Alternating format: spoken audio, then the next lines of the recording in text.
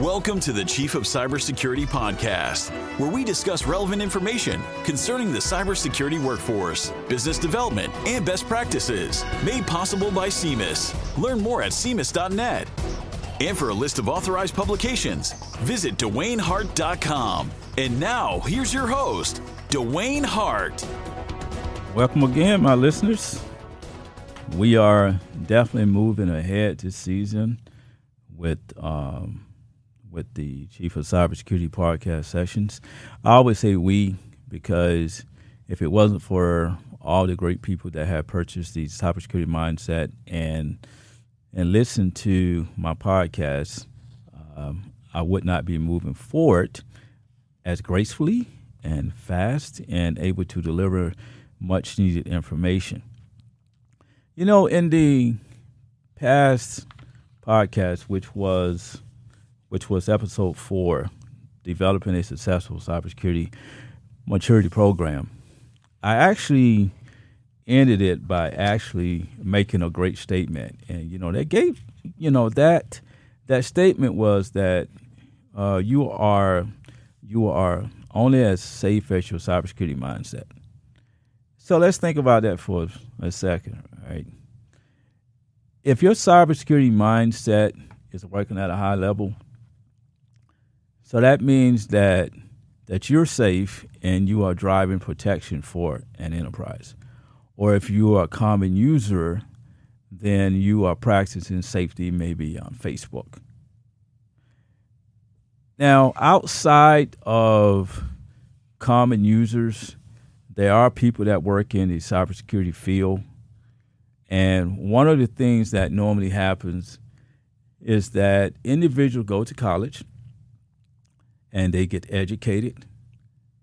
And I give claps off to anybody that have went through school and got educated and probably worked on their bachelor's, their master's, and their doctorate. It shows great motivation. It shows that you took the time to study. On the weekends, you got up every morning and um, you wrote papers. There were some times when you probably wanted to go on a vacation, but no, you had to sit at home and to do homework. And maybe you did go on a vacation, but you took your classwork with you. Even so, at the time you were out there fishing, right? Um, you actually had your laptop and you had your book open, right? But you kept your eyes on that fresh catch because you were committed to the process. But like many people after leaving school, a lot of cybersecurity um, people are stranded. Stranded to wonder, okay, I have a degree and I learned all this information and I really want to go on a job and I really want to be effective. I want to make a difference. So, where should I start? And likewise, certain people find their niche and then they move through the cybersecurity industry and they become well seasoned professionals. Then there are others that are probably still struggle for so many years because of the way that certain labor categories are probably organized, and also too, based on the ideals of what is a security engagement. So for this podcast session, building security engagements into the cyber workforce, we're going to talk about how do you transition from that college level student or that person that passed their CISSP and marry that into cybersecurity and to be effective. And to go and make that happen, there are certain things that need to exist. One is we need to talk about the security labor force. We need to talk about some unwritten rules.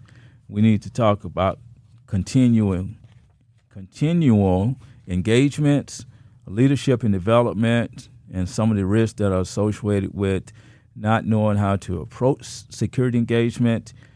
And one of my favorites is implement a cultural shift.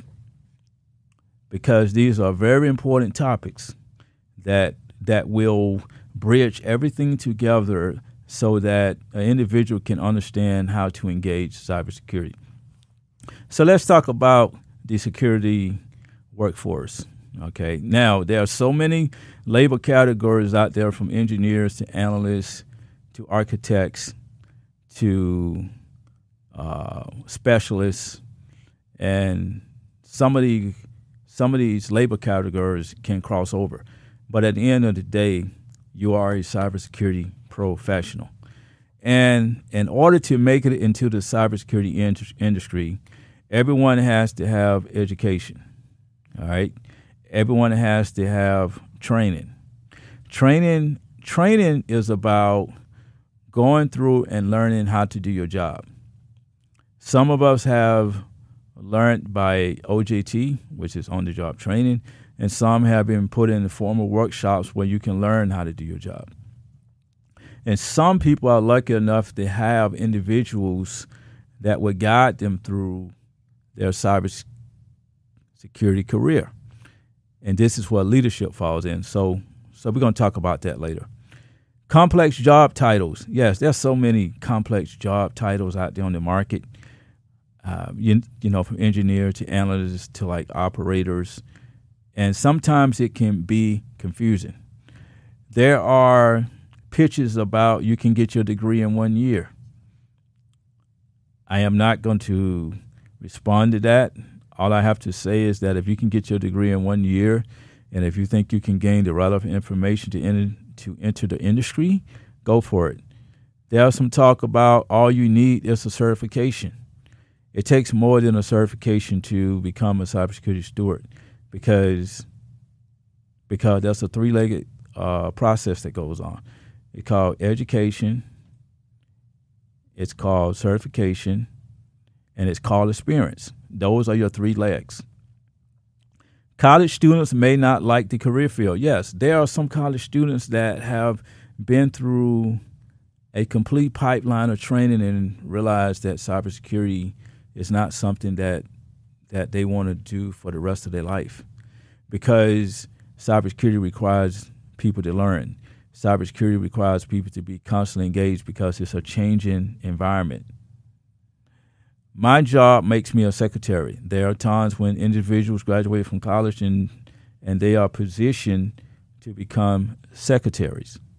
So when someone becomes a secretary, you know, the only thing that happens is that they are pigeonholed to push paperwork. This is a career killer. This this really kills the engagement practices. Individuals do not have a chance to engage cybersecurity now. They become the individual that is just responsible for administrative work. And this is a failure of leadership. Too many meetings. I realize that we have an environment where people work remotely, and there are some environments that that that I've heard of where people have five, maybe six meetings a day. And, you know, these meetings are anywhere from 30 minutes to an hour. So let's just let's just sum the numbers up here for a minute. Let's just say five. If if a person is having five meetings a day for an hour, so that's five hours a meeting. And if they're lucky enough to go to lunch and come back, you really only have two hours of work to get done. Even if they are in half hour apart from each other. Okay? And so a person has 2.5 hours of meetings a day. All right? Then they go take a lunch. So that's three and a half hours. You only got four hours of work to do, a little bit over four hours of work to do. All right? So, you know, the labor force has changed a lot because of high tempo environments, because individuals are requested to do more in cybersecurity now. But in the middle of that, there has to be a continuous engagement. Because if there is not a continuous engagement, this harms the workforce. Because individual has to know how to do their job.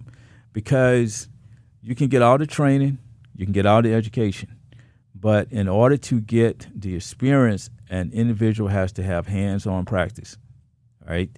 And part of those security engagements goes beyond the technical scope itself. they can exist into understanding unwritten rules. So let's talk about some unwritten rules of the cybersecurity industry. Politics plays a key role.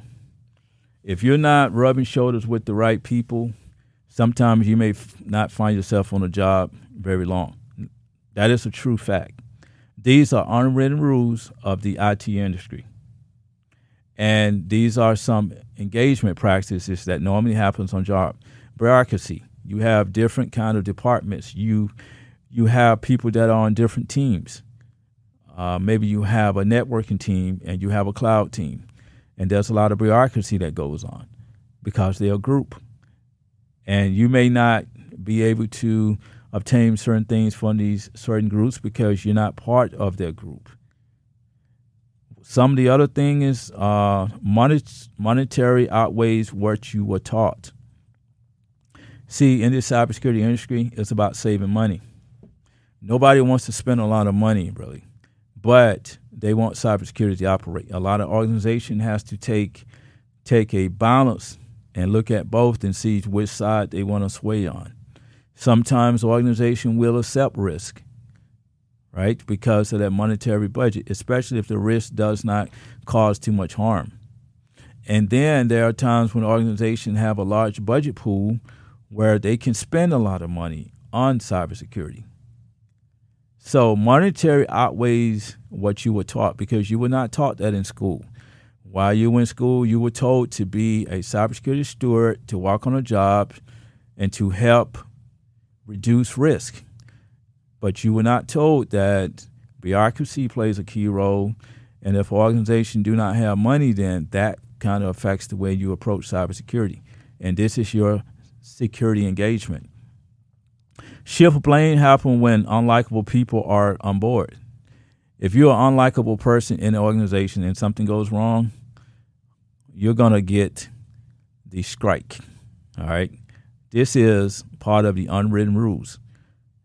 So in an organization, a lot of times that happens because there's a breakdown in communications.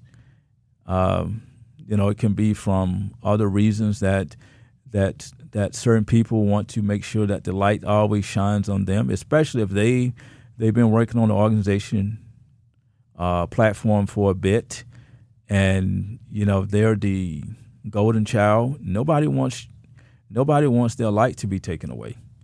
So a lot of times you come onto a job, these are unwritten rules that are not told to you. Okay.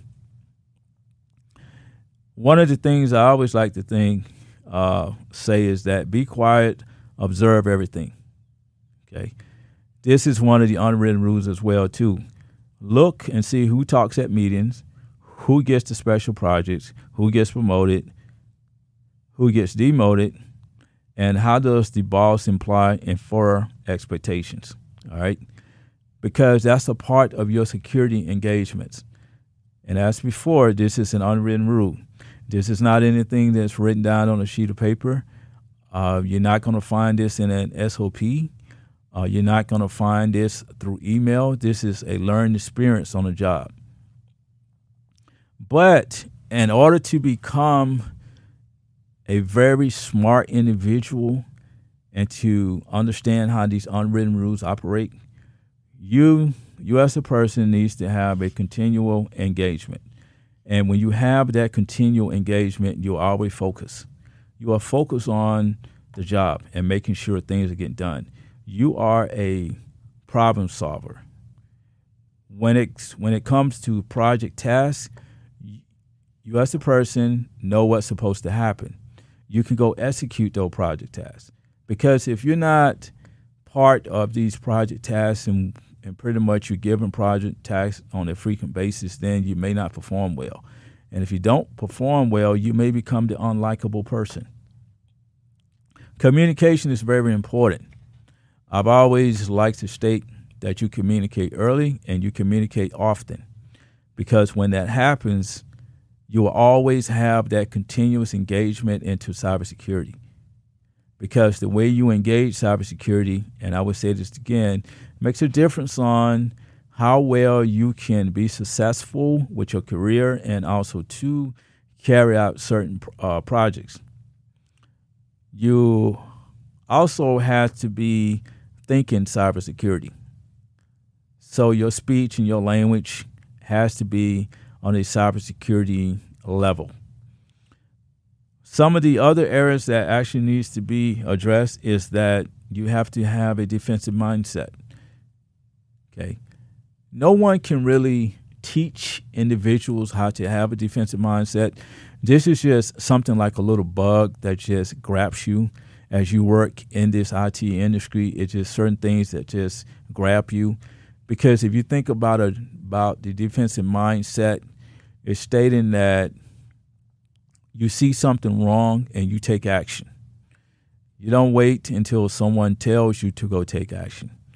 These are part of these soft skill sets and a couple things that should exist when you eh, when you work in the IT industry or like the cybersecurity industry as well.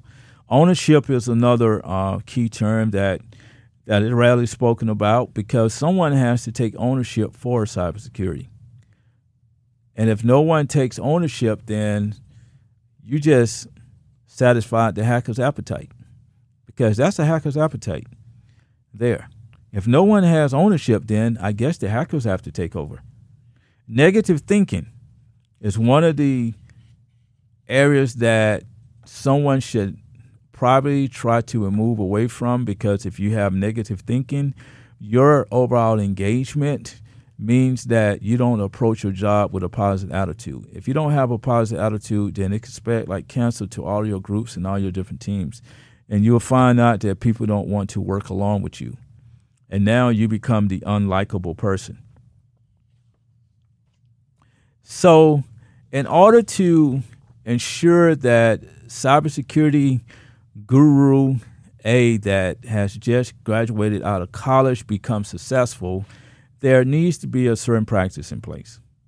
And one of those practices is called leadership and development. I myself spent my last three years in the military designing and teaching leadership and development. And one of the things that I learned about leadership and development is that it's a tool. And when the subordinates fail, is it, it is not the subordinate's fault. It is the leader's fault because leaders are supposed to guide and develop. And that can be a, a challenge in this IT industry and also cybersecurity because a lot of leaders are taxed with working in high tempo environments.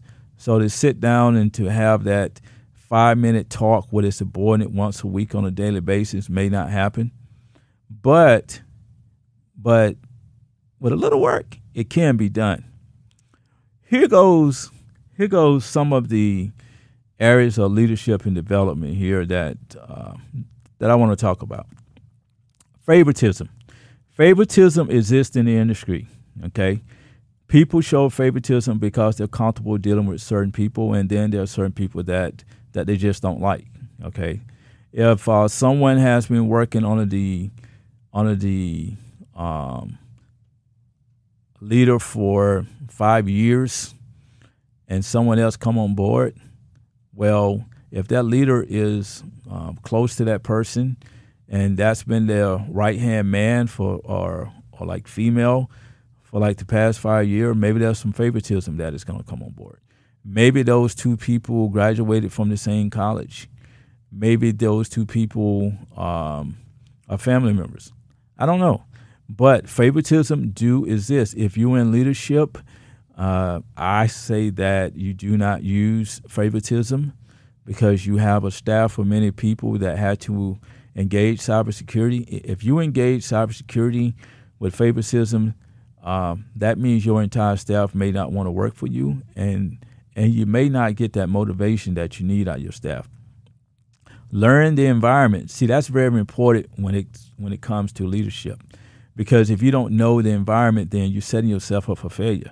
When you know the environment, see that consists of the technologies, see that consists of the uh, team players that you have, what's their overall function in the organization itself, um, some of the management practices that has to be in place, some of the unwritten rules that are in place, some of the bureaucracies that are in place. Those are things that that leaders need to know.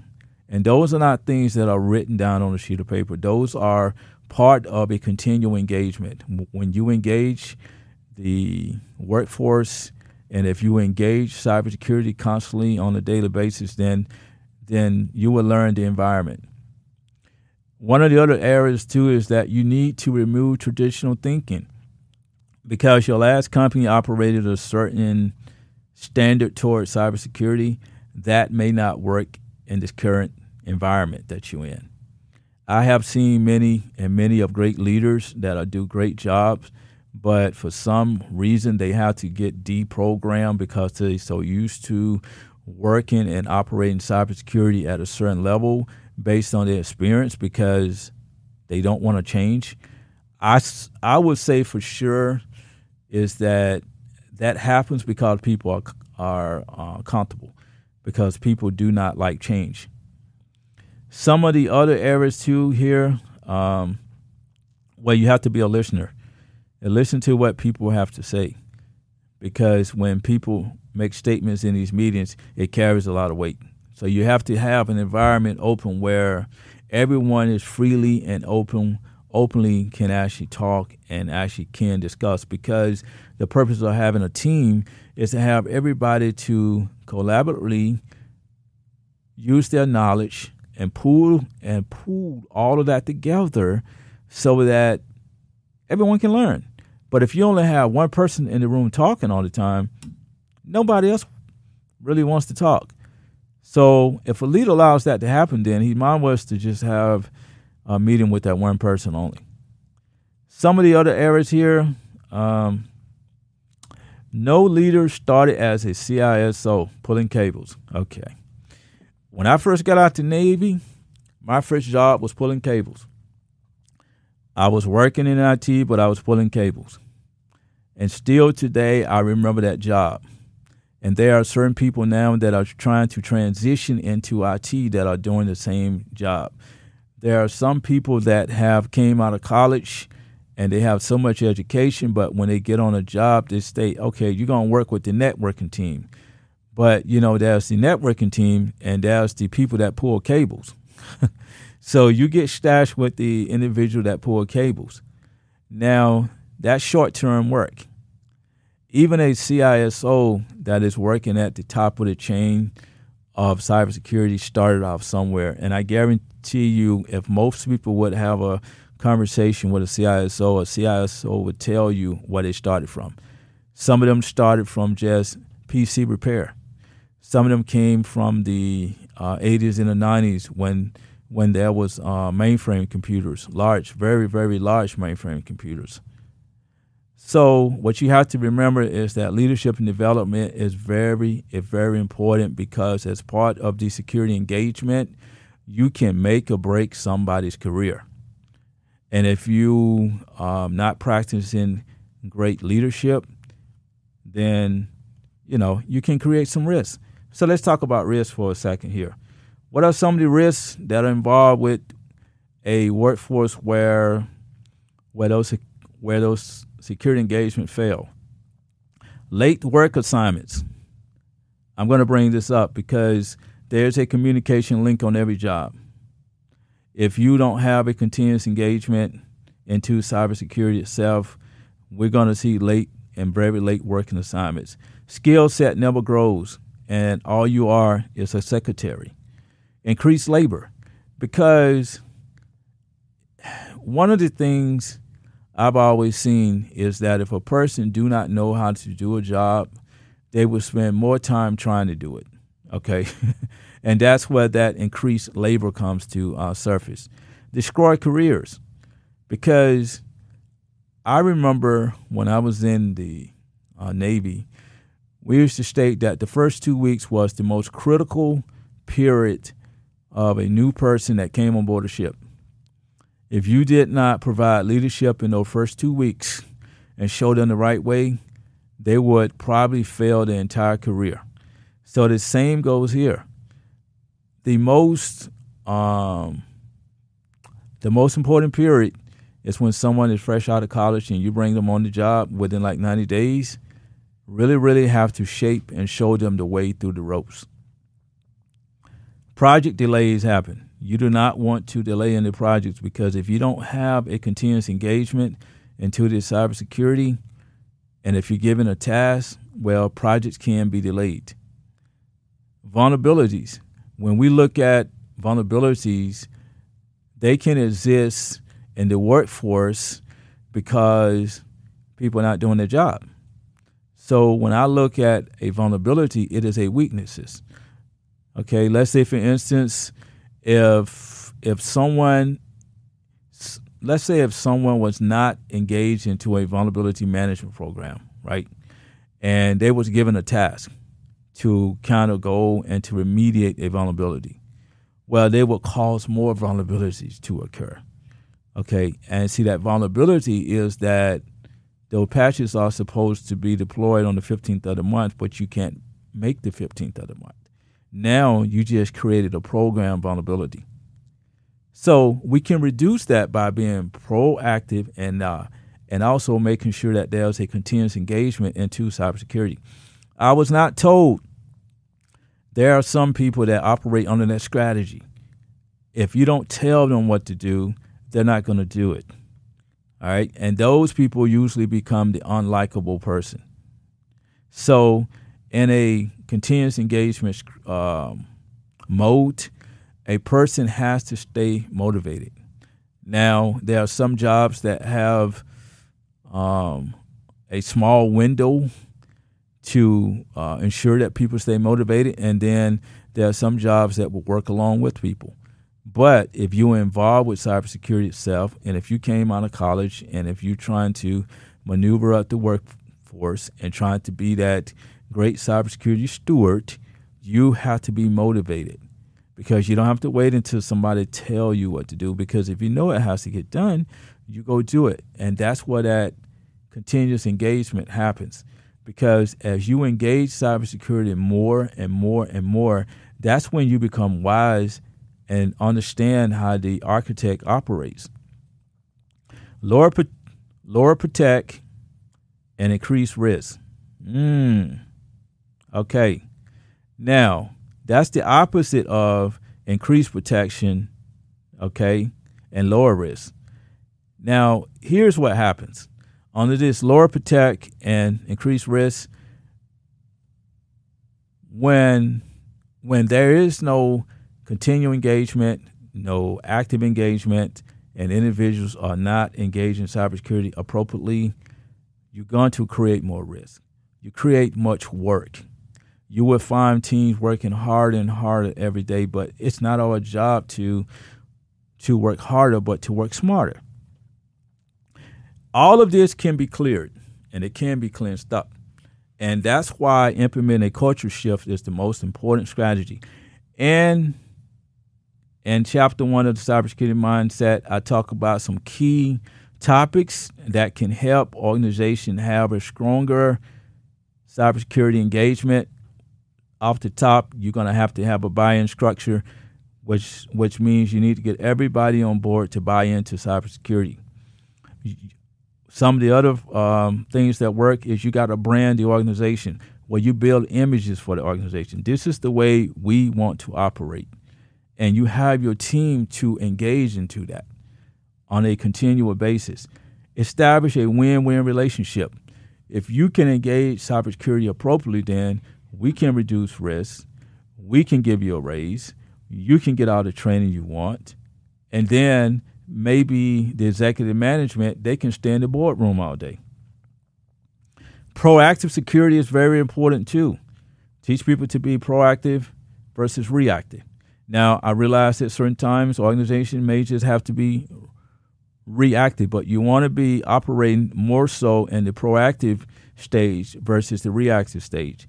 Everyone contributes. This is part of a culture shift. You want everyone to contribute because everyone has something to say. Everyone has a, a part of knowledge for cybersecurity. Everyone can contribute to the team to have a win win type of relationship. Value proposition mentality in chapter 16 of the cybersecurity mindset is very important because the value proposition mentality is saying, okay, if you gain these great skill sets, you can help this corporation become a high value asset. And when it and when the organization becomes a high value asset, their customers and clients want them to be around. Everyone benefits off of the value proposition mentality, and it will move multiple communication lanes, and also too it support client engagement. And and you hear a a great term by the team. We can reduce risk. And last but not least, as I stated before, when you have a cultural shift, that's when the organization become a high value asset. If you work in gov- government contracting, here is something that's very important because if you can install yourself as a high value asset, you will always get contracts. But to make that happen, you have to build your capabilities. In order to build your capabilities, you need to have a winning team, certification, train people that are constantly engaged into cybersecurity. See that balance cybersecurity from the front line. Now, workforce development is a very critical issue now. Uh, if we think about the way the workforce is shaped and moving, you know, the workforce has to perform outside of the certifications and grow outside of certification because that's one of the main problems with cyber is that teens spend a lot of time working on certification and working on education but then when it becomes an engagement for doing the jobs that's when the challenges happen okay? And there's no set stone or something written down that teaches people how to do their job. Individual has to stay engaged. Leadership has to um, be in place. And bureaucracy and unwritten rules have to be known. Now, the workforce for cybersecurity works across many lines. Looking at the financial industry, looking at the government industry, and also too just looking at the healthcare sector. You know, the healthcare sector has many challenges, uh, from like robotic software to medical devices to data privacy, uh, HIPAA, and PII because the medical industry is strong at trying to protect data. And this is where cybersecurity operates as well too. But there are a lot of challenges for the healthcare sector. And if you are someone that works in the healthcare sector, I'm pretty sure you have seen many issues as it relates to cybersecurity. But Stay with me because in episode six, we're going to talk about security challenges for the healthcare sector. And keep in mind, you are only as safe as your mindset. You've been listening to the Chief of Cybersecurity podcast, where you have gained relevant knowledge to enhance your cybersecurity mindset.